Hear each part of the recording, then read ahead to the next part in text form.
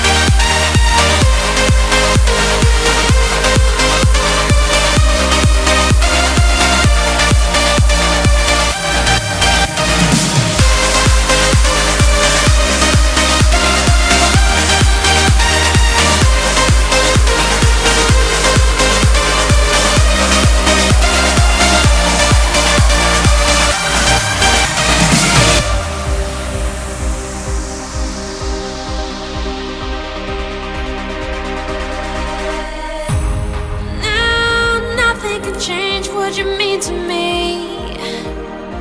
Uh, that's a lot that I could say, but just hold.